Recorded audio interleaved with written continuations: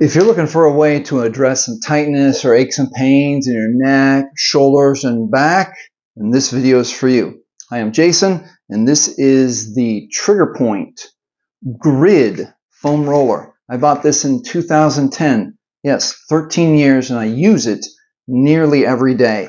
If I'm sitting at my computer for too long, if I've worked out too hard, worked in the yard too much, I will get on my foam roller and it gives it gives fantastic relief. Stretches me out like a mini massage. I, I even have a hack for you. Uh, when you're on road trips or car trips, car trips, uh, I put my oldest yoga mat and I take the foam roller with me in the car. And then when I pump gas, uh, I get on the foam roller and roll up my back, and it makes car trips significantly easier.